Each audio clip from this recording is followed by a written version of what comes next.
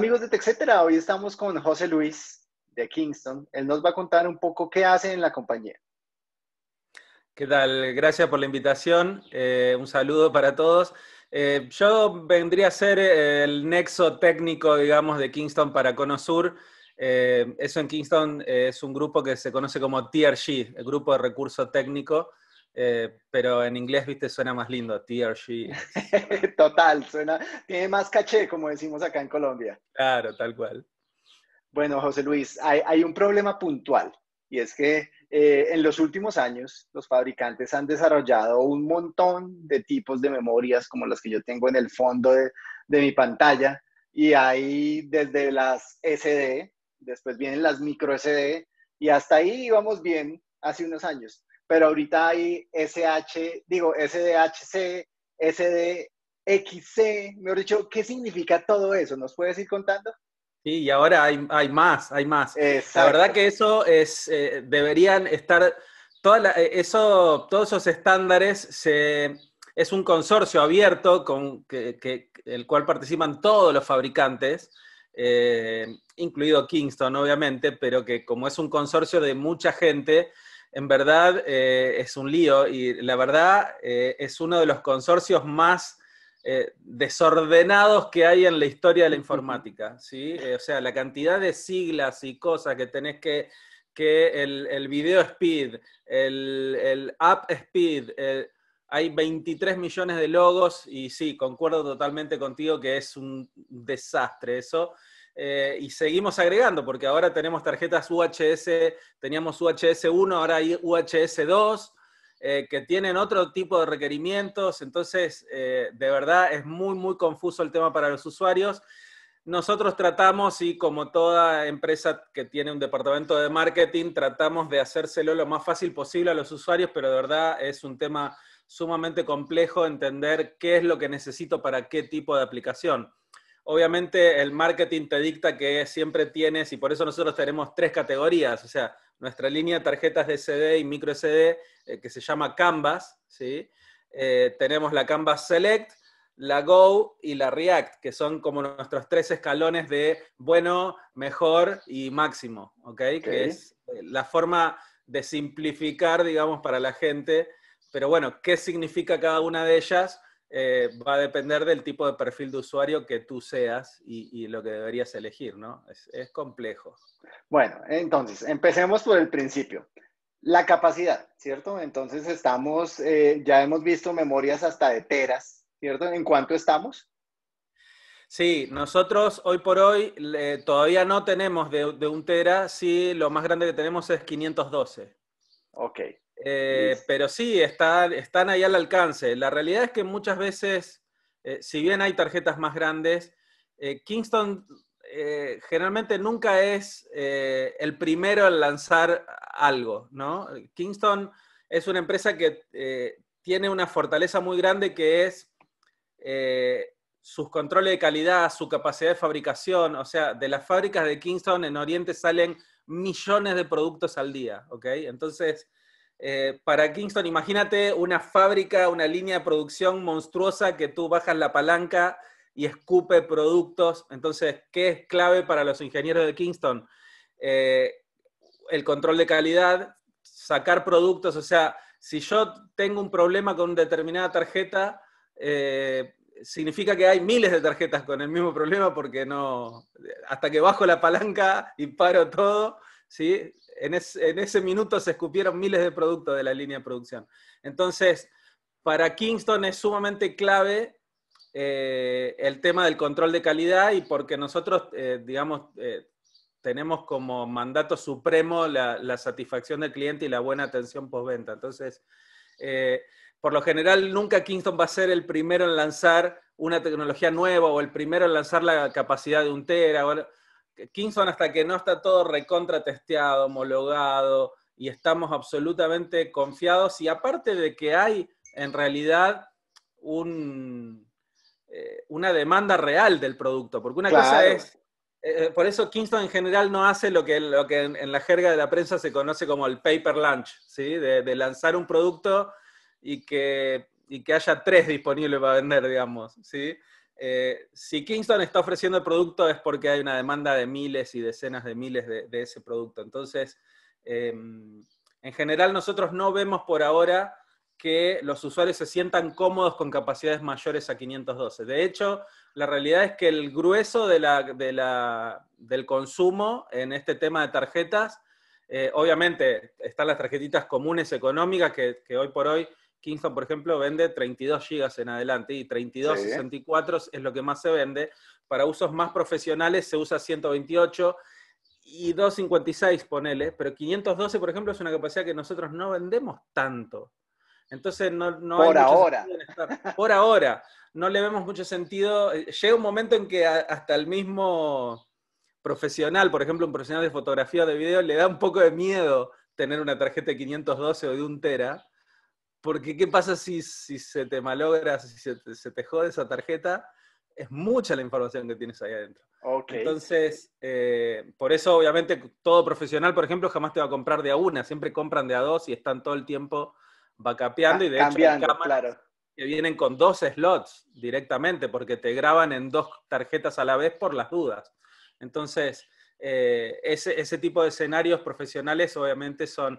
Eh, ahora, otro mensaje clave, si realmente todos los productos de Kingston son buenos y tienen un control de calidad exhaustivo, ahora, eh, no pongas en una cámara profesional una tarjetita de 2,50 para hacer un trabajo profesional, digamos. O sea, es elegir el producto acorde, no solamente en capacidad o en velocidad o en sí, sino también eh, en que sea acorde, digamos, a, lo que requiere el trabajo, ¿no? De acuerdo, pero mira, ahí hablaste de otra de las cualidades, ¿no?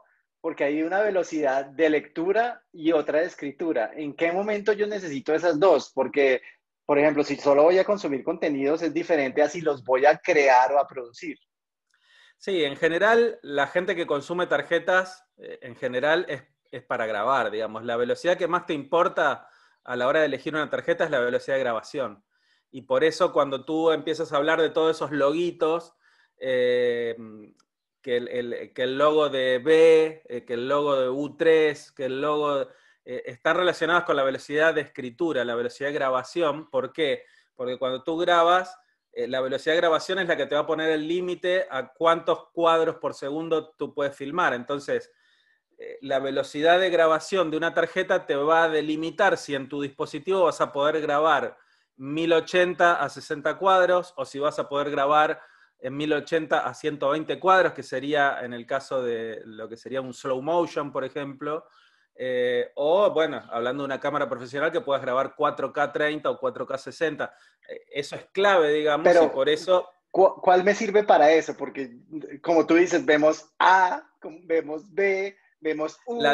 ahí la que te sirve es el logo de la B. La B es de video. Entonces, eh, ahí una B30 te califica como para grabar 1080 tranquilo. Una B60 ya te habilita para grabar 4K 30, por ejemplo. Eh, tranquilo, que no quiere decir que con una tarjeta más lenta no lo puedas grabar. Lo que te garantiza de alguna manera es que vas a poder grabar sin pérdida de cuadros, digamos, sin, sin ningún eh, tartamudeo, digamos, sin ninguna frenada, eh, y que el video va a quedar realmente fluido. Continuo y fluido, bueno, ¿y qué, qué, significa la U? La B es video, la U. La U es la calificación anterior de velocidades. Eh, de, hecho, en un principio se hablaba de solamente de clase 10, por ejemplo, se hablaba de clase 4, clase 6, clase 10. Después de la clase 10, como ya casi todas las tarjetas del mercado eran clase 10, y clase 10 calificado por velocidad de lectura, no de escritura. Entonces ya el clase 10 ya nadie le pasó más bola, ya nadie le prestó más atención y empezaron con el tema de la U. Eh, y después de un tiempo ya al tema de la U tampoco le dieron bola, entonces empezaron con el tema de la B corta. Entonces, hoy es el tema de la, de la B la que importa a la hora de saber si eso me sirve para grabar video o no. Y cuando hablan de la A, A1 y A2. En el caso de la A, estás hablando de aplicaciones. La A obviamente aplica solamente para micro SD. ¿Por qué? Porque la A pertenece al mundo de los móviles, ¿sí? al mundo de los teléfonos celulares. ¿Y en qué tiene que ver eso? Eh, una tarjeta que tiene el logo A significa que ya se asemeja más a lo que es un SSD que a una tarjeta. ¿Sí? Buenísimo. Porque no solamente tiene buena velocidad de lectura y escritura, sino que además tiene buena, buena eh, capacidad de respuesta en términos de transacciones por segundo. ¿A qué me refiero con eso? Es un término que viene del mundo de, las computadoras y de los servidores, que se llama IOPS, Input Output Per Second, que es la cantidad de peticiones que la tarjeta puede responder por segundo. ¿Y eso en qué me importa? Me importa cuando vos estás utilizando el dispositivo como un disco. Entonces, cuando, vos estás, eh, cuando el dispositivo está siendo usado como un disco de sistema operativo, porque básicamente ya sea, eh, estamos hablando de Android en este caso, obviamente, ¿no? Porque en los dispositivos iOS no, no, no soportan. No se puede. no se puede. Pero si se pudiera, de hecho, obviamente, todos los smartphones de gama alta hoy por hoy tienen un SSD internamente y de hecho tienen un SSD eh, PCI Express de, altísima velocidad. Pero bueno, la idea era que tú no notes un desfase tan grande. Desde el Android 6 en adelante se permite lo que se llama eh, utilizar el almacenamiento externo, que antes solo lo podías usar para grabar fotos o para grabar archivos, ahora lo puedes usar para instalar las apps y correrlas directamente desde la tarjeta. Entonces, para que eso funcione bien y no notes un desfasaje tan grande entre lo que corre desde dentro del teléfono y lo que corre desde la tarjeta, es que necesitas una tarjeta que reaccione rápido. Entonces, eh, las tarjetas que tienen el logo A1 o A2 tienen la capacidad de responder a esa demanda de manera más como un disco, de manera que la app no se trabe, digamos, y no se note que estás corriendo desde la tarjeta. Perfecto. Bueno, y ahora, porque hay otro concepto que es la resistencia, ¿no? Tengo entendido que cuando los dispositivos están grabando video continuo, como los DVRs o como estas camaritas tan especiales que van en los carros para grabar todo lo que pasa, necesitan otro tipo de tarjeta, ¿no? Sí, señor. la resistencia, o lo que en inglés se llama endurance, es la capacidad de escritura total que tiene la vida útil de la tarjeta y que obviamente eso también varía de acuerdo al level que vos estés eligiendo. Obviamente las tarjetas más económicas no tienen tanta durabilidad, eh, no están pensadas para ese escenario de grabar 24 barra 7. Para eso nosotros tenemos otra línea que precisamente se llama Endurance, que es una tarjeta de alta resistencia diseñada para grabar 24/7 que bajo un esquema que obviamente todas estas cámaras graban eh, en video comprimido, ¿no? H264 o algunas ahora más modernas H265, que tienen altísimos grados de compresión, pero no obstante, estás escribiendo ahí todo el día. Entonces, eh, nosotros tenemos una línea específica para eso que se llama Endurance y que la idea es, quizá para, para una camarita común que se usa poco o que tiene... Eh, quizá detección de movimiento, o sea que no va a estar grabando 24 horas del día, a lo mejor te puedes arreglar con una tarjeta de mediano rango común. Pero si estás en un escenario más profesional o en un comercio en donde, o en una cámara que está montada en un poste a 3 metros de altura, eh, tiene un costo también estar cada seis meses, cada un año, subiéndote al poste, cambiando las tarjetas, tener que ir a comprar otra tarjeta, eh, tratarla como un insumo, digamos, básicamente que se gasta como la tinta de la impresora, ¿no? Entonces, eh, tener una tarjeta de alta durabilidad en esos escenarios plantea eh, que, pueda aguantarse, digamos, más tiempo, obviamente manteniendo esa, calidad y no poniendo en riesgo que la tarjeta, porque obviamente llega un momento que la tarjeta ya la, agotás eventualmente, eh, y en eso se, da en esos escenarios, no en un escenario normal donde vos la uses en el teléfono, no. Se da en un escenario donde estás grabando 24 barra 7, tarde o temprano va a morir, digamos. Y la idea sí, como, decimos acá, cuelga los guayos. Ok, sí, no conozco. Bueno, y, y hay, hay, una pregunta que nos hacen muchísimo, José Luis, no se imagina.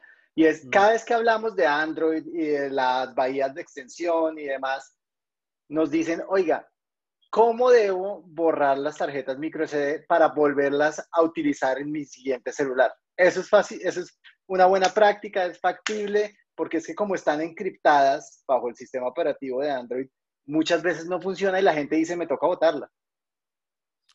Claro, lo, ideal es que tú puedas formatearla desde el mismo dispositivo, digamos, si sabes que la vas a usar en otro lado, es eh, formatearla desde el mismo dispositivo y dejarla limpia antes de quitarla de ahí. Lo mismo eh, antes de usarla, digamos. Eh, la idea es que la formatees en el mismo dispositivo donde vos la vas a usar, no que la formatees en un PC y después la pongas en el teléfono.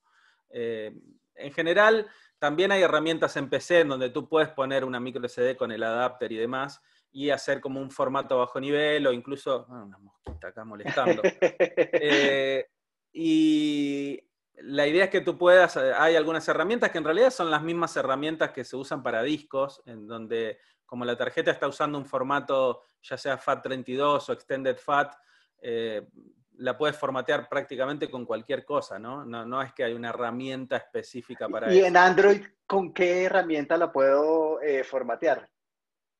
Yo creo que desde, desde el mismo teléfono puedes ir a la parte de almacenamiento y, decir, la verdad, no soy usuario de Android. ah, ok. Perfecto. Si me dices en qué menú exactamente está la opción, no te sé decir con exactitud, pero desde, dentro del mismo dispositivo obviamente tienes en la parte de configuración y de almacenamiento la opción de, formatear a cero la tarjeta.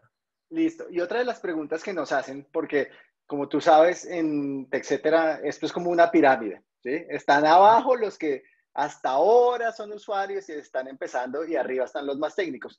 Los de abajo muchas veces nos preguntan como, oiga, en la medida de, mis posibilidades, si yo tengo una micro SD con el adaptador para que quede del tamaño de una SD, ¿eso es más recomendable, por ejemplo, para ponerlo en una cámara o es mejor comprar una tarjeta específica, una SD para la cámara? Mira, los usuarios profesionales eh, que usan cámaras eh, reflex o DLSR y demás, prefieren la SD full.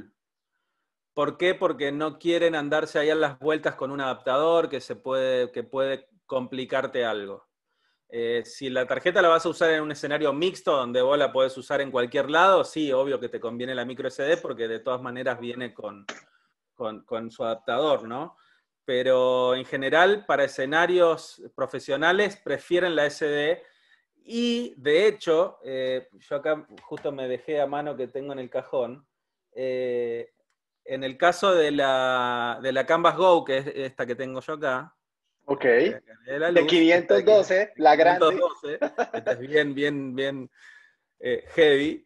Em, bien, eh, ¿cómo es que diría? Eh, no sé si voy a decir alguna barbaridad, es bien berraca. Sí, sí, sí, está bien dicho, berraco. Potente. Potente. Entonces, en estos escenarios, tanto en lo que es la Go como la React, que es la tope de línea, eh, que es esta. La quiero poner de frente, pero le da la luz. en esta tarjeta específicamente, esta versión que es la React, que es nuestra tope de línea, de hecho hay una diferencia porque esta tarjeta es más rápida que su versión micro SD. O sea, hay una pequeña, pero hay una diferencia performance. O sea, la SD es más rápida que la micro SD. Ah, Entonces ahí tenés otra razón más para decir, no, ¿sabes qué? Si yo la voy a usar en una cámara, voy a comprar la SD. Una cosa súper importante que es eh, a tener en cuenta es que estas tarjetas, eh, nuestro modelo React nuevo, ya forman parte del nuevo estándar UHS 2, que es un nuevo estándar que no es solamente la B de velocidad, no, es un nuevo estándar ¿sí? ¿Eso qué significa? La interfase de la tarjeta es totalmente distinta. Pero es, compatible hacia atrás, es más rápida. Eh, de hecho, si no lo tengo abierto el paquete porque me llegaron hace poquito. Eso veo, está nueva.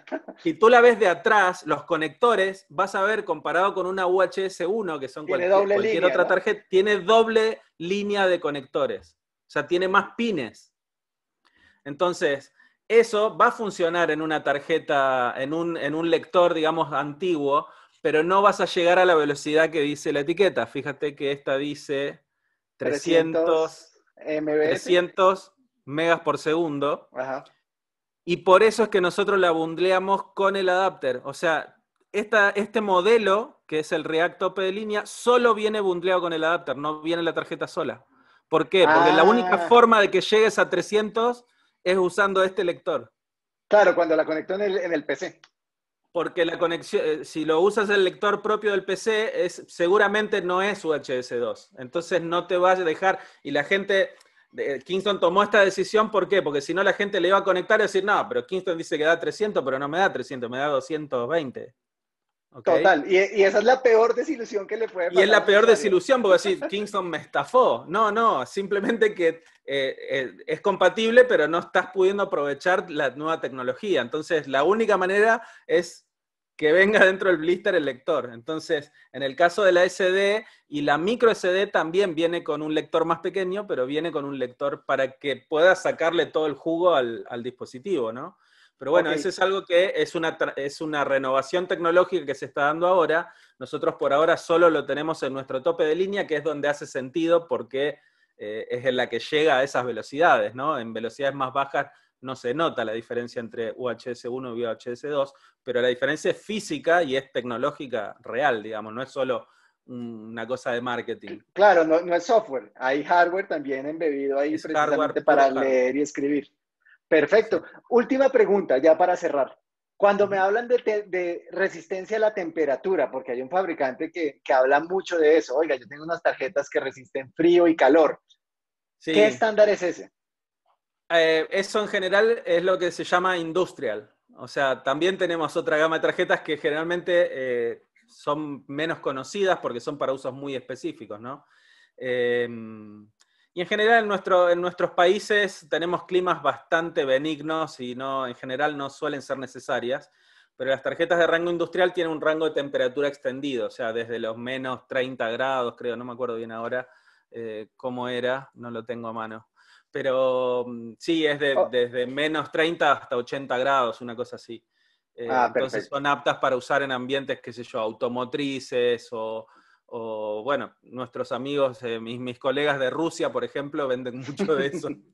Cuando tienes menos 25 eh, eh, de temperatura a la mañana, este, esas tarjetas permiten continuar operando, digamos, y sobre todo permite sostener el tema de los datos. Un dato, un, un tema poco conocido es que cuando estás hablando de memoria flash, de memoria NAND flash, la temperatura de operación es importante y tiene una cierta influencia en cómo funciona el dispositivo, en eh, la calidad de grabación y en eh, la durabilidad. O sea, si tú estás grabando a temperaturas muy altas, por ejemplo, eh, el tiempo de grabación, o sea, cuánto tiempo va a durar los datos, van a retener esos datos ahí, se reduce un poco.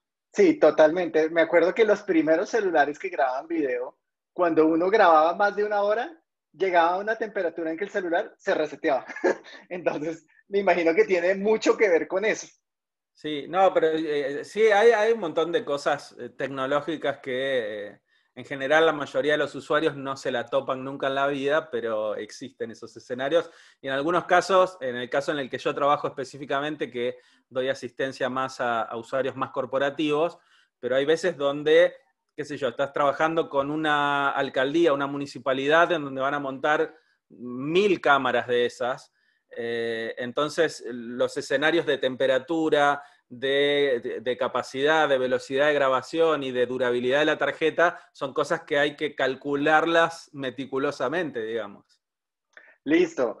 Bueno, José Luis, entonces, para cerrar, para domis, como decimos nosotros, para las tías que nos preguntan. ¿Usted quiere una, una tarjeta rápida, consistente? Hablamos de un estándar UHS-2, ¿no? Y, y, si es para video, con B90. Para resumir, básicamente, nosotros tenemos, como te decía, esa, bueno, lo que tienes ahí de fondo, ¿no? Ajá. Eh, la Canvas Select es si tienes una cámara más viejita o un celular no del último tope de línea, eh, si vas a grabar tranqui, si tú vas a grabar y vas a sacar fotos normal, con la Canvas Select estás perfecto. Si eres un usuario más power, en donde usas mucho el tema del, slow motion, de fotos en ráfaga, si usas todas las capacidades del celular, que te, todo lo que te permite grabar el, celular, eh, si lo vas a usar en un dron, si vas a, a, usarlo para filmar de manera más profesional, te vas con la Go Plus. ¿Sí? Y si buscas ya grabar en 4K y grabar en resoluciones muy altas y, usarlo en, cámaras de nivel profesional, te vas con la React. Esa es básicamente la catalogación de los productos. Perfecto, así, simple. Listo. Bueno, mil gracias, José Luis. Te esperamos en texetera.co.